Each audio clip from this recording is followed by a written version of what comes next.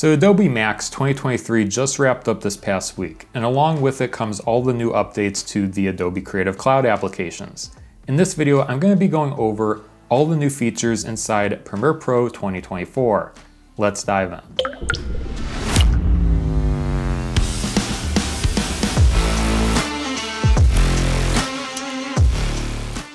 If you're new here, welcome to the channel. I'm John the Video Guy. I make Premiere Pro and After Effects tutorials. So if you're interested, be sure to like and subscribe for more content. But let's see what's new inside Premiere Pro 2024. You'll notice that when you go to update your application, it claims that it will be five times faster than the previous versions for buttery smooth editing. We'll have to see about this one. Only time will tell, but you should notice an improvement when you go from panel to panel or you start using the tools inside the software. So one of the new AI features inside Premiere Pro is called Auto Tag. You can use this feature inside Essential Sound to automatically use AI to detect what type of audio clip certain audio clips are on your timeline. So for example here, I have a clip of me speaking and I want to auto tag this using the new feature. When you click auto tag, Premiere Pro uses AI technology to identify what type of audio clip it is. So in this case, you can see it, tagged it as a dialogue clip. This can be very handy if you have several audio clips on your timeline that you want to tag all at once. You can use AI to automatically identify and tag those clips for you. So one of the most exciting new features is the updates to text-based editing. If you hop over from 2023 to 2024, you'll notice that there's a new filters button in the text panel. In here, you can select pauses. So when we click pause, what you'll notice is that all the pauses are selected in the timeline and in the text panel. You can select the types of pauses by going back to the filters button and going to the settings. When we twirl down transcript view, you have an option to change the length of time the pauses are. So if you slide it to the right, there will be less pauses, and if you slide it to the left, it'll identify more of the pauses. So this is a good way to adjust that. In this case, I'm gonna leave it at 0.75 seconds and click save. Now next what you can do is click delete and then you can click the delete all button and what will happen is you'll notice that it deleted all of our pauses in our Premiere Pro timeline. This is a really cool feature, especially if you work with interview clips and long pieces of dialogue audio. This is an easy way to get rid of all those pauses. That way there's less, you know, trimming that you have to do manually inside your Premiere Pro timeline.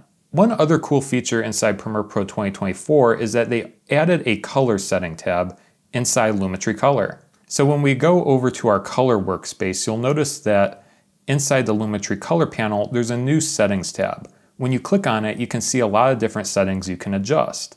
Now before you'd have to dig inside the Premiere Pro settings, such as going into interpolating the clip to add like an input LUT or change the color space or maybe even go into your sequence settings to change the color space. But now all that can be accessed in the new settings tab inside Lumetri Color.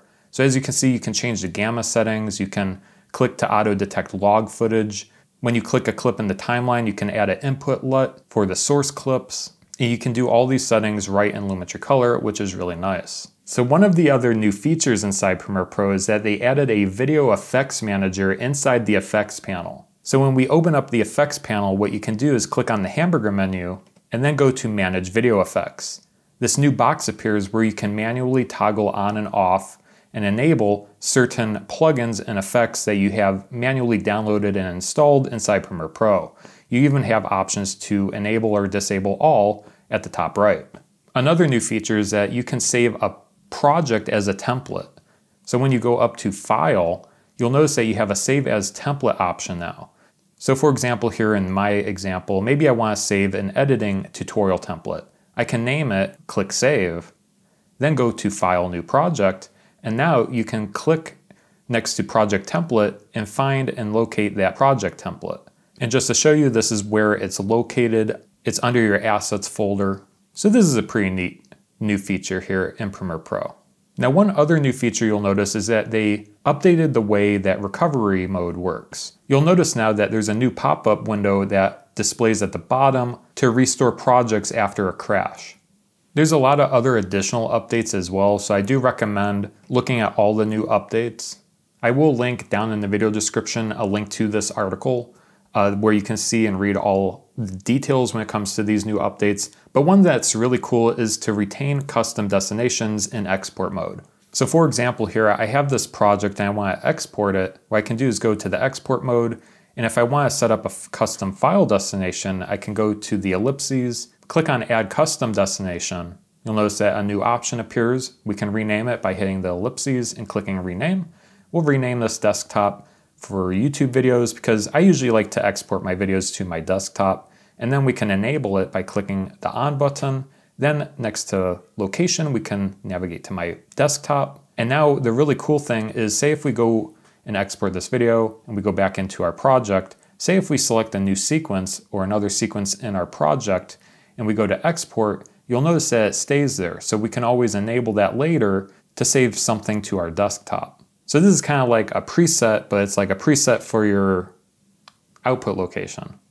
Now one update that they're doing that's kind of bittersweet is that they're disabling tape-based workflows. So if you remember, if you can go up to file capture, the option's not there anymore in 2024. So in the new version, you can't capture from a DV tape or a certain tape source. For me, this is kind of sad because I first learned how to edit on mini DV tapes, but it just goes to show that they're kind of navigating away from the tape base and just dedicating all to digital type of video editing now. So if you're editing from DV tapes, you have to use older versions of Premiere Pro 2023 or earlier in order to use that capture window.